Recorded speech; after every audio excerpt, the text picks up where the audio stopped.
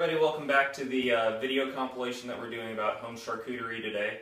Um, I appreciate you watching my videos. My name is Calvin Schnucker. I'm a master butcher here in the Bluegrass region in Kentucky. Today we're going to be breaking down a pork shoulder and working on a couple different projects that I'm going to break into some separate videos. We'll be curing a coppa, which is a whole muscle shoulder roll. We're also going to be making a different uh, batch of salami today. I'll show you everything from how to cut it up and bone out a pork shoulder to the different seasonings you can use, the different flavor profiles we can make, how to clean our casings, how to stuff, and then also the basic setup on my cure chamber. So all those videos you're going to see off to the right hand side, you can click on those based on your interests. And again, I really appreciate you watching these videos and hopefully you get to learn a little bit about how to undertake these projects at home. They're fun, they're easy, and they're really affordable.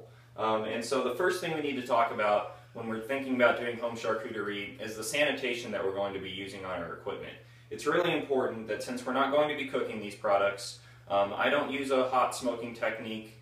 The only way I know that these products are safe when they're done is that we're safe all the way through the process. So what I like to do is I start out with my butcher block. And what I've done today is I've wiped this down with hot soapy water.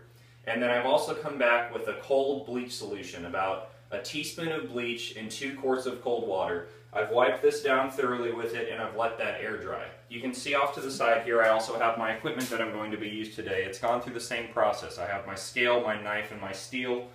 My different steel bowls. I have my hot soapy water. I have my cold bleach water solution. I've touched all of the contact surfaces that we're going to be using today, including my mixer grinder. And what we're, why we're doing this is that throughout the process, when you're cooking things in your daily life, you might cook some chicken breast, you might use some eggs, and you're, you know, you're making an omelet or something, and maybe you didn't effectively clean up. We want to make sure that everything that we're going to be touching today is completely clean before we start. And so that's really important. The other important thing we need to go over is where you're sourcing your meat from. Some of us um, in the meat trade are really lucky to be able to source locally raised, antibiotic-free, hormone-free animals. If you can do that, that's the best route to go, especially getting a heritage breed hog. That's going to make really excellent charcuterie. The meat has a little bit darker flavor to it. There's more fat. They're not raised on these corn-fed diets. They've been able to walk around outside. It's going to lead to a better end product if we do it that way. Today what we're going to be breaking down is a Boston butt roast that I got at my local Mega Mart. I'm using this as an example because that's what the majority of people are going to be able to source is from their local grocery store, talking to their meat department guy, talking to the meat clerk, figuring out what can I use. So we're using a Boston butt today. We need to make sure that there aren't any additives in this Boston butt.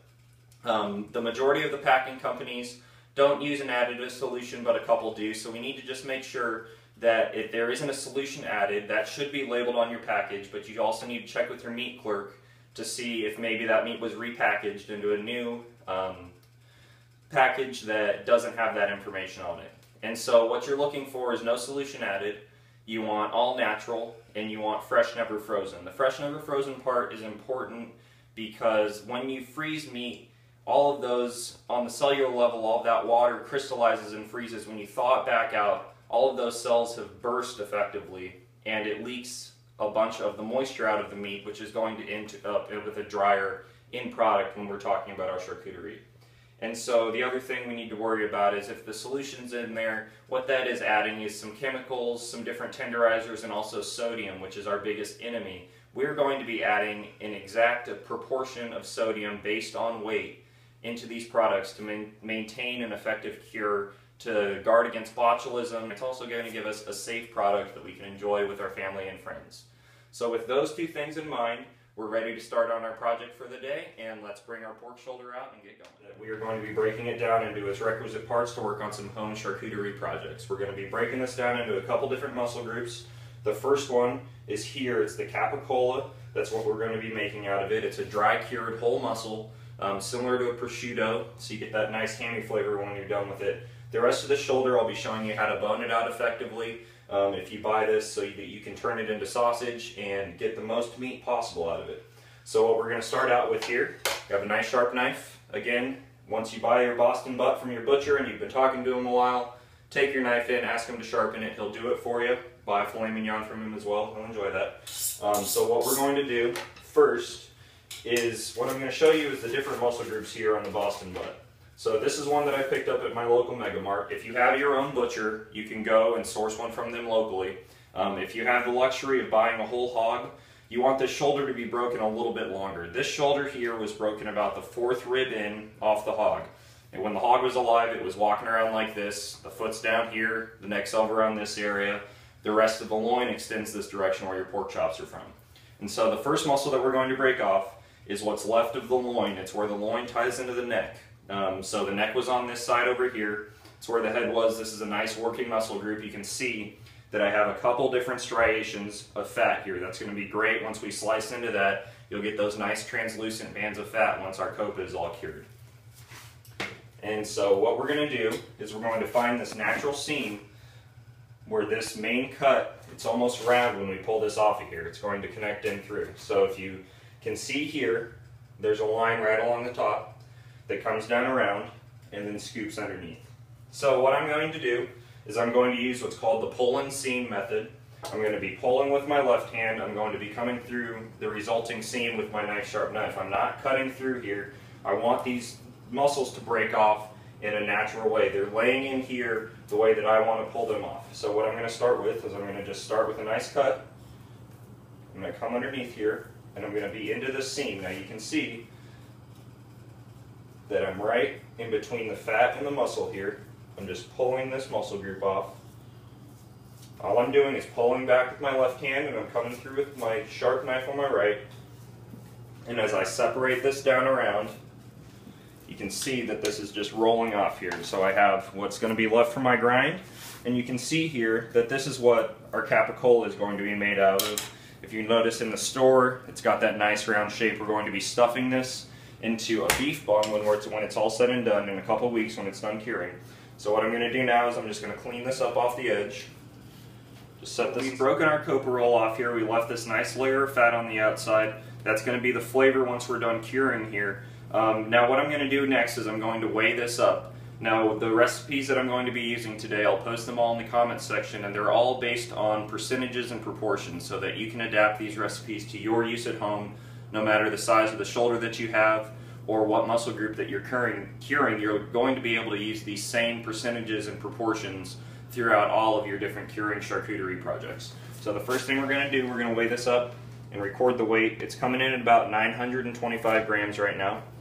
And so we'll just set this aside and then we'll start working on the rest of our pork shoulder and breaking that down into the different muscle groups that we'll be grinding to make our other sausages.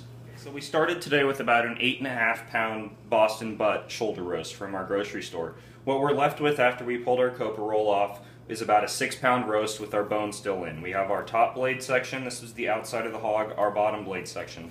I'm going to peel this out so that we can make our different sausages using our pull and seam method. I'm going to be coming along these natural breaks in the muscle. Um, this is going to yield enough for about two different sausage recipes. I like to go with about two and a half pounds of meat for each one of my recipes. Um, that gives me about 8 to 12 sausage links cased in bratwurst casing. Um, that's plenty for you and to share with your friends. It also makes a quicker curing process, so in case you're playing around with your different recipes, you're not waiting a month to figure out that something didn't work. You'll know in a couple weeks here. So the first thing I'm going to do is I'm just going to break these muscle groups out. I'm going to show you the most effective way to bone this shoulder blade out. As you see, there are a couple different ways that this bone is running inside the meat. So we're just going to stop, start with our bottom blade section. I'm just going to, again, I'm coming into the seam. I'm pulling back with my left hand, and all I'm doing is tracing along where the meat's still hanging on with the tip of my knife here. And so what I'm going to do is I'm going to make sure that any of these little breaks in the bone or anything else is coming with it. There may be a little cartilage on your top section here. There may be some bones. This is where the neck lay when they pulled this off at the slaughter plant. So I'm going to come through here. I'll make sure that I don't have any hard tissue. Um, again, we can do this at the end and check it over, but it's easy as you go along. If you feel something that's hard, something gristly, then we'll cut it out. So the next thing I'm going to do is I'm going to come around the side of this bone here. I came to the end of my muscle group and I can see that this is where my bone is laying. So what I'm going to do is I'm going to come around the outside here. And how this bone is shaped is it's flat on this end and then it runs into the inside here and the bone then curves up. So what I'm doing, see I didn't cut this clean, all I did was to continue to pull back with my left hand as I'm coming through the meat. And what's that, what that's going to do is going to allow the muscle groups to just come apart on this bone. I'm not going to be able to get this as clean with my knife as I'm going to be able to get it if all I'm doing is pulling backwards. So that's about as clean as I'm going to be wanting to get this at home. I don't need to be grinding the scraps. Um, what I like to do is if you roast this for at 350 degrees for about 20 minutes, throw it in some water with some vegetables, you just made yourself some pork stock. Pretty easy. So now what we're left with is our boneless pork shoulder roast. Now again, this is weighing in with the bone in around six pounds. I bet we're probably around five and a half pounds right now. And what I'm going to do is just going, going to try to break this about in half so that for future projects I know I can just pull this out of my freezer, chop it up into little pieces and I'm ready to go. So I'll weigh this up. Right now we are at five and a half pounds.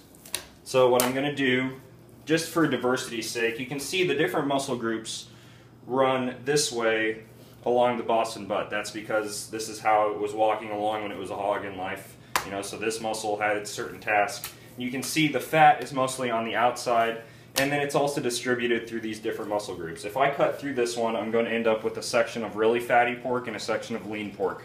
Since I'm not going to work with all of this today, what I'm going to do is just try to break this in half, get about two and a half pounds worth, and then that's where we'll start working on our other sausage. The rest of this can just be put into your freezer, throw this into a crock pot. You can make a great pork roast with it um, or you can just continue to keep it frozen and work on it for your other charcuterie projects. So what we're going to do is we're going to weigh this up. I want two and a half pounds, so we're looking for two pounds, eight ounces. We're a little bit heavy here, um, but that's going to be okay. We'll trim a little bit of this away when we start working on our project. So from here, if you want to click on the resulting videos, I'll show you how we're going to break this into salami, and then we'll also continue working on our coppa and I hope that gives you a nice introduction on how to break down a pork shoulder and the different ways that you can use it to create some different home charcuterie projects.